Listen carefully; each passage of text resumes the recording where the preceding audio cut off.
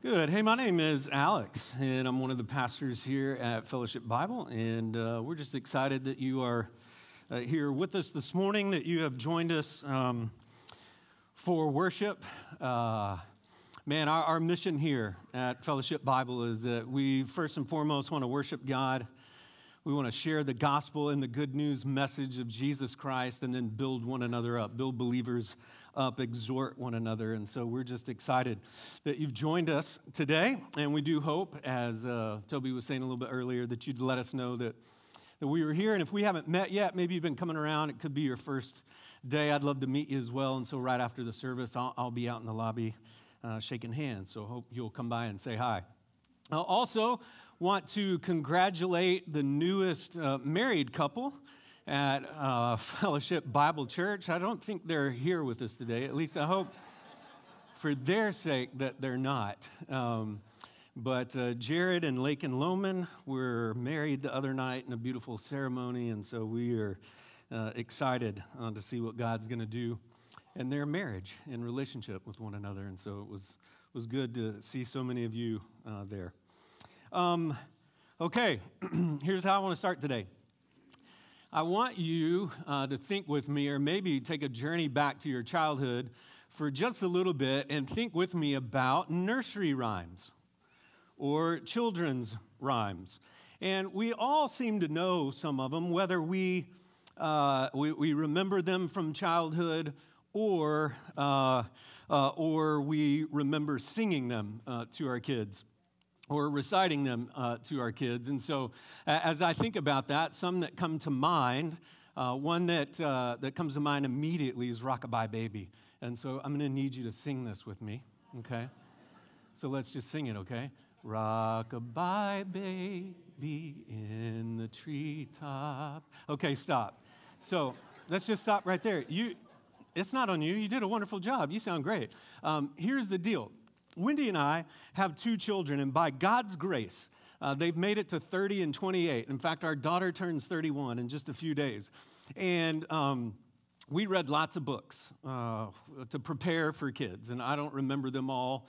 Uh, what to expect when you're expecting um, growing kids God's way, like you, you name it, all the Parenting 101 books. And I do not recall in all of the books that we read any suggestion, any instruction that was wise that would say that you should uh, try to put your kid to sleep in a treetop.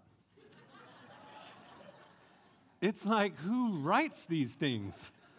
Children's rhymes are weird. Um, I think of another one patty cake, patty cake, baker's man.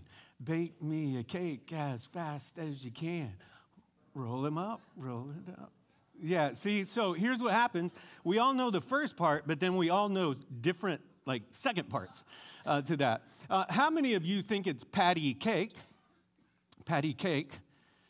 Oh my God. No, see, yeah, it's not. You're wrong. It's pat a cake. And here's what's strange. Um, I'm a little bit of an amateur baker. And uh, this all happened during COVID. Uh, my wife got me hooked while we were at COVID and we weren't going to church and we weren't going to work, you know, for like the first six weeks or whatever that was. It's all a blur. I'm trying to forget about it. Um, she, she had us watch the Great British Baking Show on Netflix. Are Any fans? Paul Hollywood, all that kind of stuff? Yeah. And so we've seen them all now. There's a new season that just was released. We're saving it until all the episodes come out so we can binge it. Um, and so I just thought, this looks easy. and so I learned to bake, and I've made several cakes. And here's the deal you don't, there's nothing about patting a cake. I don't, again, I just don't understand children's rhymes. Um, but here's one that's perhaps the most ridiculous nursery rhyme that we learned growing up. Uh, and it's the one that we don't think is so ridiculous. And that is sticks and stones may break my bones, but words will never hurt me. And, and that just couldn't be further from the truth, could it? As we continue our study of James this morning, he's going to tell us that. That nothing could be further from that truth because few things in our lives do more damage than the things that we say and the words that we use. And so, if you have your Bible or your James journal, I'm going to invite you to turn with me to James chapter 3. James chapter 3. And as you're turning there, we're coming into the next great teaching section of the book of James. Last week was really the center of the letter.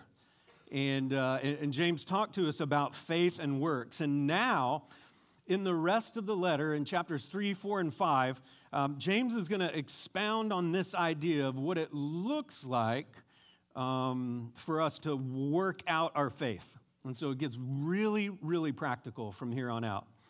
And in chapter 3, James is going to begin with our words. He's going to remind us about the awesome power of the tongue to accomplish um, either good or evil. And so let's see what he has to say about this and how we are to talk to one another. So we'll just begin in chapter 3, verse 1.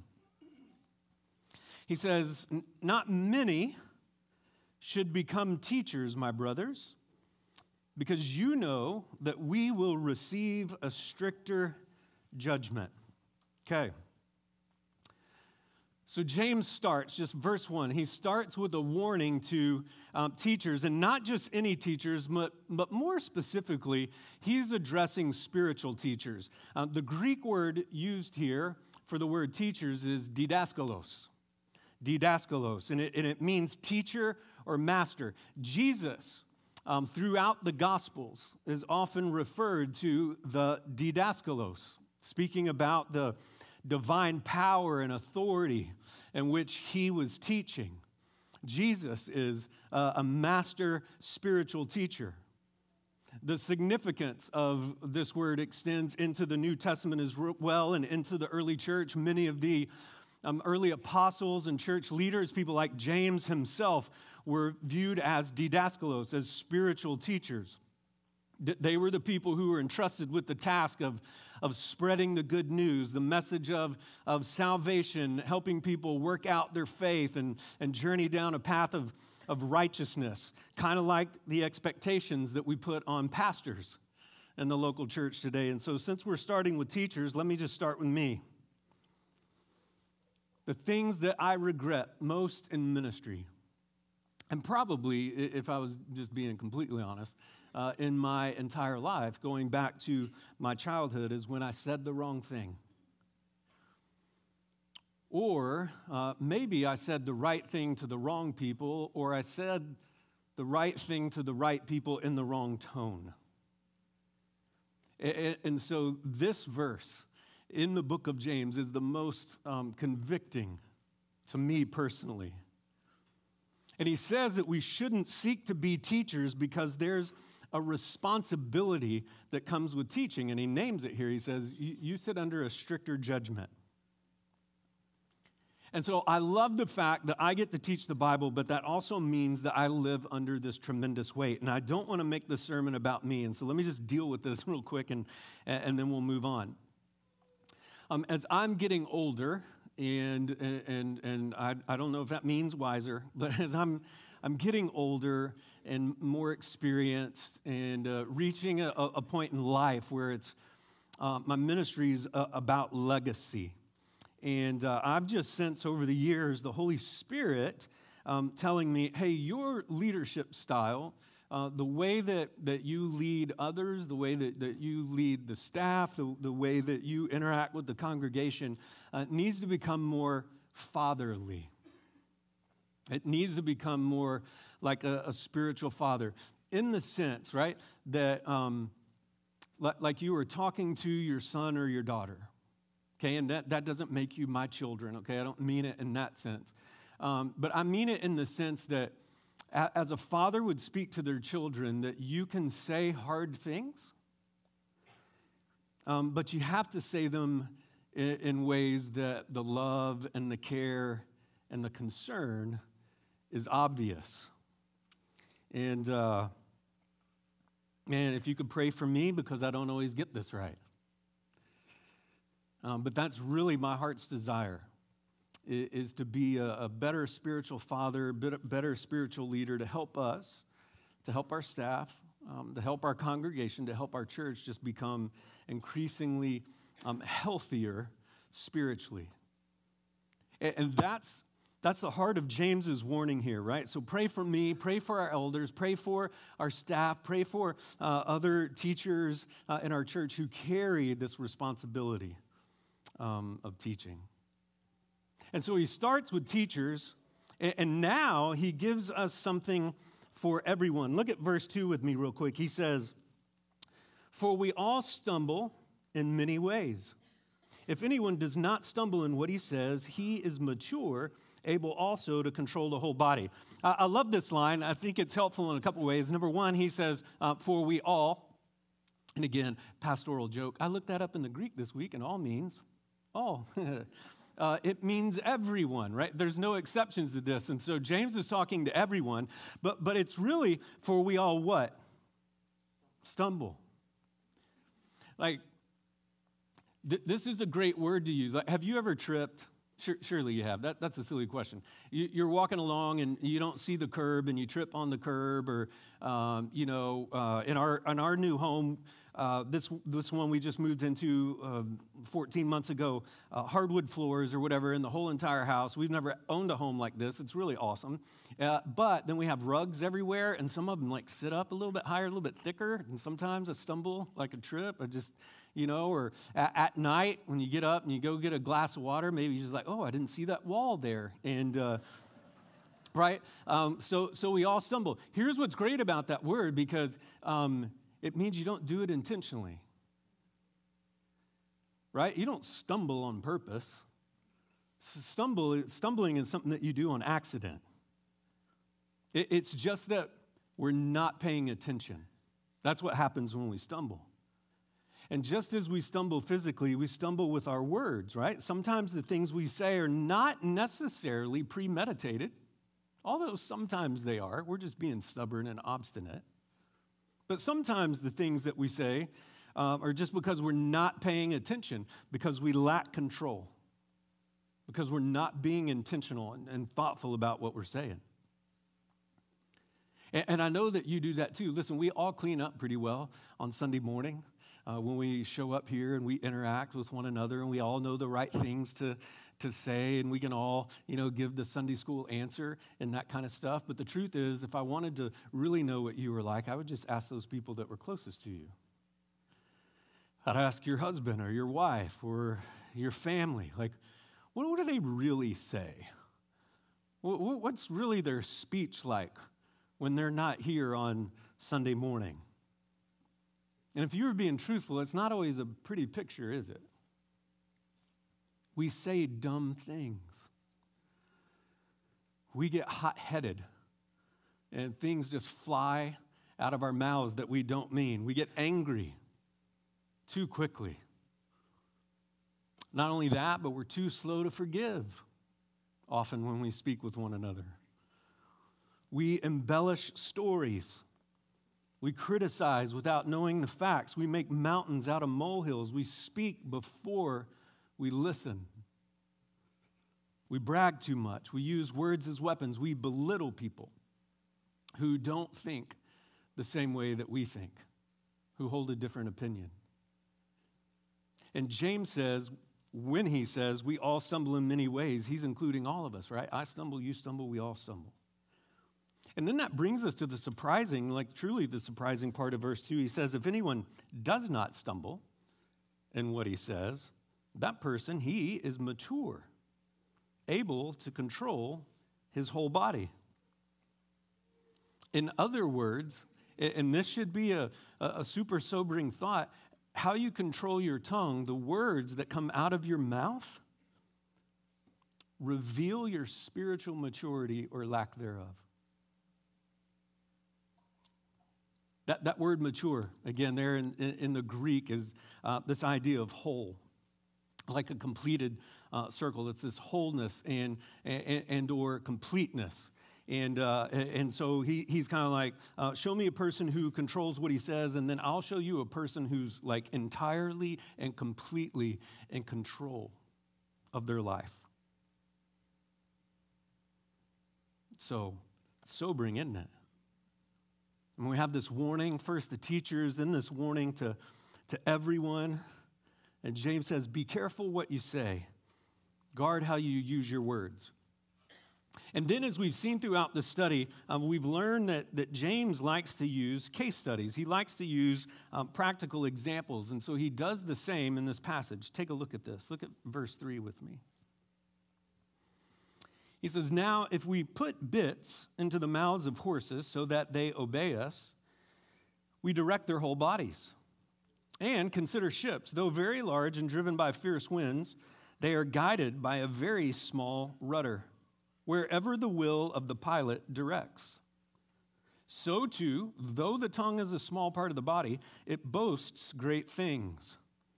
Consider how a small fire sets ablaze a large forest, and the tongue is a fire. The tongue, a world of unrighteousness, is placed among our members. It stains the whole body, sets the course of life on fire, and is itself set on fire by hell. Okay, so these illustrations hardly need an explanation, um, but, but let's walk through them, right? He talks about uh, a bit. And so if you've never uh, ridden a horse, um, there's just this little bit. It's, it's what it's called. It's, it's just a little piece of metal uh, that's about five inches wide and weighs a few ounces. And you put it in the horse's mouth, and that's what the reins are attached to on a horse. And, and so when you uh, pull those reins to the left, the horse goes that way. If you pull the reins to the right, the horse goes that way. If you pull back uh, on the reins, uh, the horse doesn't like this little piece of metal in its pulling it backwards, and so it will stop. Okay, we, I think we all understand that. He says the same thing about a ship. he's like, you can have this big, massive uh, ship, and uh, you've got this rudder that. Um, sometimes rudders are quite large, especially on cruise ships, but in proportion to the ship itself, the rudder is rather small. And, so he's like, hey, when uh, back in their day, like wind blew through the sails, and, and so that's how you steer the ship. And so the captain of the ship would turn the wheel this way, which would turn the rudder, and it would cause the ship to go that way. And you turn it the other way, it causes the ship to go other way. Ships don't have brakes like that. least ones that are wind driven by sails, and so you can't really stop it. But listen, it's a big deal because it's the difference between ending up in Miami or Hong Kong, right? On how you control the ship. And so he just uses these simple little illustrations to talk about how using the bit or using the rudder, steering the tongue, requires discipline it, it, it requires intentionality to be effective, to use those things. Right? And so the, so the lesson here is because the tongue's got a lot of power to influence every part of life, we have to learn to control it and direct it properly. And, and, and, then he talks about fires as well, this analogy of forest fires, how uh, in essence, I, what I picture in my mind is the we, read about them all the time, little campfire that somebody forgot to tend to, and then it, it spreads and burns the whole forest, right? He's like the tongue. The, the words that you speak can wreak major havoc. It can burn down a forest.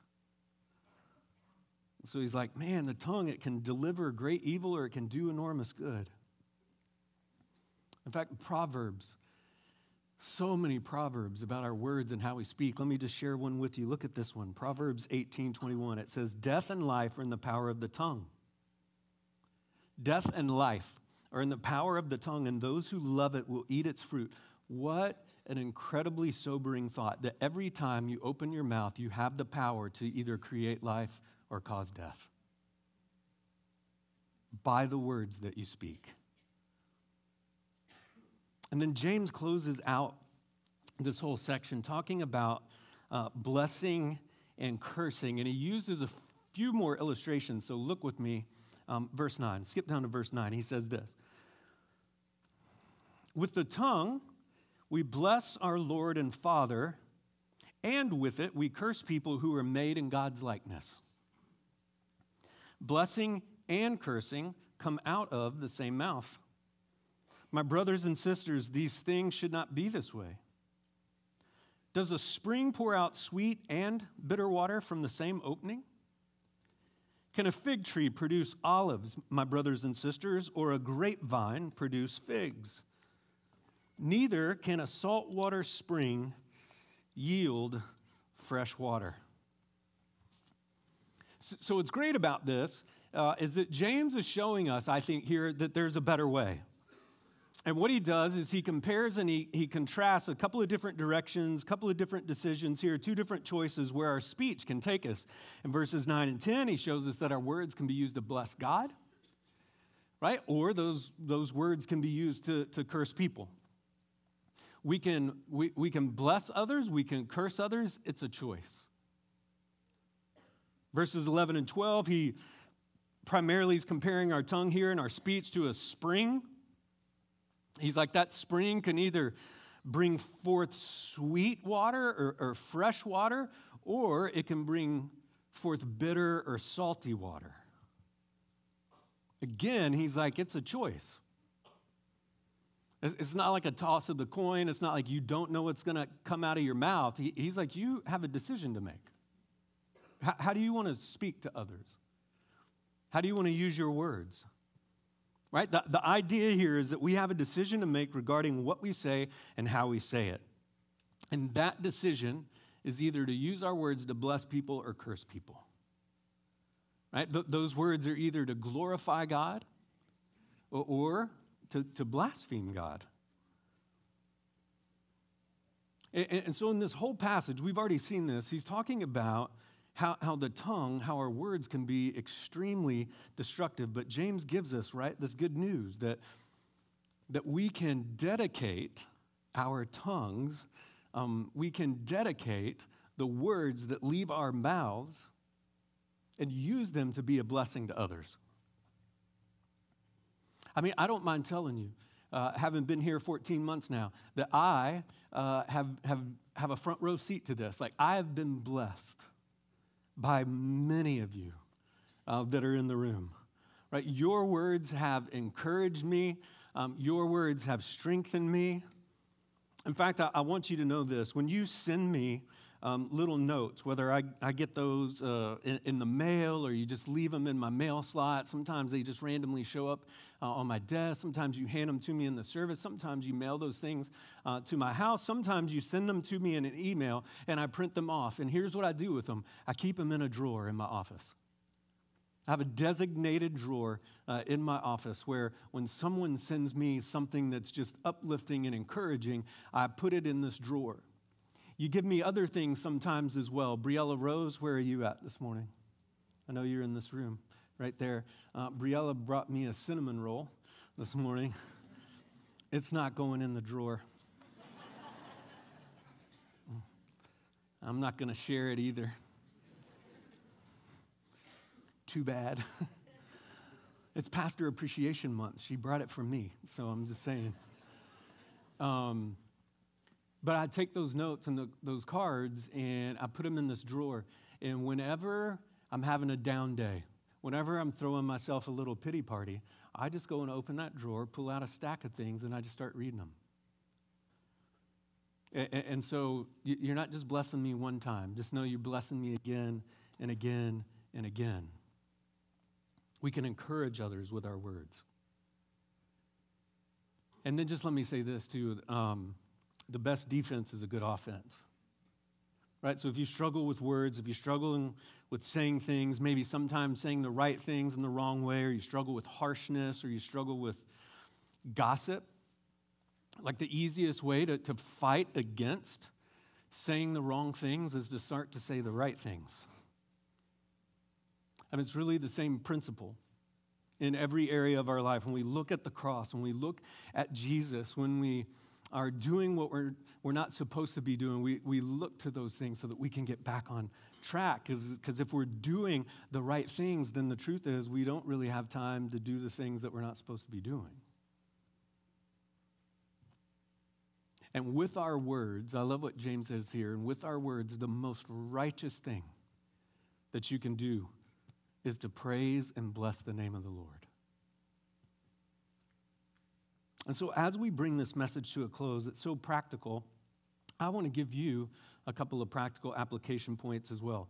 Uh, every time we open our mouth, we should consider um, these two things. Um, the first is, and you've probably heard it, it said, think before you speak. right? So you, you might have even seen this acronym used before. I, I found this little thing to, to help us. But before you open your mouth, ask yourself these five questions that you see on the screen. T, is it true? It, are, are, the words I'm about to say, no, no matter what, given the situation, are they true? Right? Uh, is, is it true? If it's not true, don't say it. H, is it helpful? Even if it's true, is what you're saying going to help the other person uh, or is it going to hurt them? Like, what's the purpose behind it? Are you doing it? Are you saying what you're saying to help them? Or are you saying what you're saying to, to hurt them? Or is it just to help you? But say things that will be helpful to others. So they're true, they're helpful. I's inspiring. Is it going to encourage them? Inspiring them to good works, inspiring them to live out their faith in? Is it necessary? Even if those first three things are true, right? If it's true and, and helpful and inspiring, is what I'm about to say even necessary? Does it need to be said? Or does it not need to be said? Don't say it. And then K is kind. Is it kind? Is it gentle? Is it gentle hearted? Is it seeking the, the goodwill of the other person. So, so is what we say is going to reflect these things or not. If what you say doesn't meet these rules, then again, just don't say it. And then here's the second thing. If you're having troubles, if you find yourself saying, Oh, why did I just say that? What, what is wrong with me? Why am I, what's going on with my words? I would encourage you to do this put on Christ put on Christ. Look at Romans um, 13, 14. It says, But put on the Lord Jesus Christ and make no provision for the flesh to gratify its desires. So, so this verse instructs us to put on Christ. And, and, and again, this um, phrase, put on, those two words, put on, literally in the original language mean to, to clothe yourself in, to like put it on like you would this jacket. Like put on the Lord Jesus Christ. I mean, all of us got dressed this morning, right? By show of hands, everybody's got clothes on. yeah. He, he's saying, hey, listen, when you start your day, then, then just like you would put your clothes on uh, and, and you would wear those all day long, put on Jesus. Put, put on the character of Jesus so that that what you say would be a reflection of his heart. Of where you would go what would be places that he would be okay with you going. Put on the Lord Jesus Christ. Put on the character of Jesus from head to toe and wear him everywhere. Let him, let him be the driving force for how you live your life and how you act and how you behave and the words that you say. Listen, if I'm being transparent, and I am, th- this was a really tough one for me. Uh, it was tough to prepare, um, it was difficult to teach. Uh, a pastor should never stand up and preach a message that that he hasn't preached to himself first. And that was absolutely true for me this week. God needed, uh, I needed God to teach me this lesson. Because as I was studying and working through the passage this week, I was convicted because the truth is, I can be harsh with my words. I can be demeaning with my words. I can use wit and humor as weapons. And I can do that with my friends and with my family. Those I work with, I can be harsh when speaking about things that I disagree with. And so today, I've, I've just kind of felt like I just need to make a commitment. I want to make a commitment today. I actually made it earlier in the week, not just today. But I'm hoping that you'll make the same commitment with me today, and that's this that as Christ followers, when we open our mouths, that what comes out of our mouths won't be cursing, that it won't be condemnation, that when we speak, that we won't start fires, that, that it won't be bitter, which really means poisonous, that it won't be salty.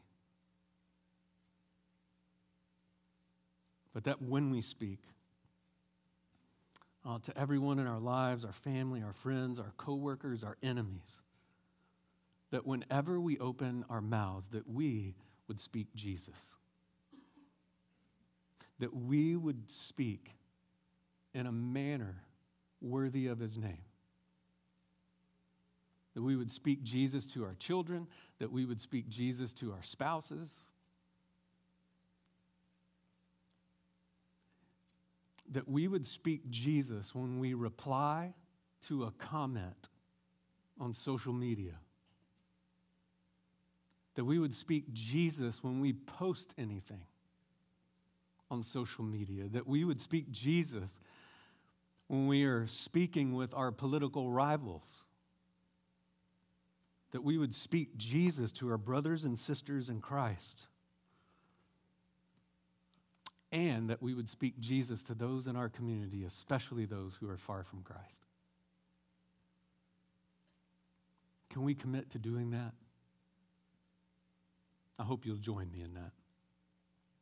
May we be people uh, who want to be freshwater springs, who want to speak sweet water things into people's lives. Would you bow your heads and close your eyes and pray with me for just a moment before we continue worship.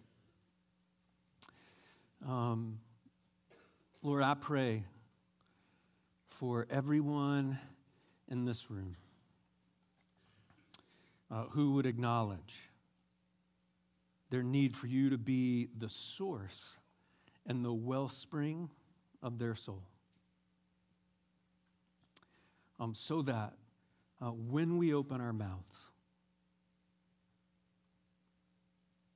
That the things that we speak would not be bitter, that they wouldn't be salty, they wouldn't start a fire, they wouldn't stir up hatred or frustration. But that our words would speak of Jesus. Lord, we firmly believe um, that only Jesus can change this world. And you've chosen us, those of us who've placed our faith and trust in you, those who would describe ourselves as Christ followers. You've put um, that responsibility, you've chosen us to be the catalyst through which you want to do your work. We, we are the vessels through which you want to spread your word.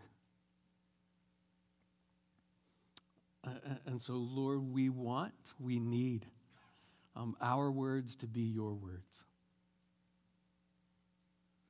Uh, we want to speak Jesus to our families and to our wives and to our husbands and to our kids and kids to your parents. Uh, we want to speak Jesus to our enemies. We want Jesus to always be on the tip of our tongues. I pray that you would give us this morning the power to do so. Lord, we don't need uh, another TED talk. We don't need another self help book. We need your Holy Spirit to rein us in. and we need to make wise choices because the choice is ours. You've given it to us. So let us be people who speak Jesus. We pray this in the name of your Son. Amen.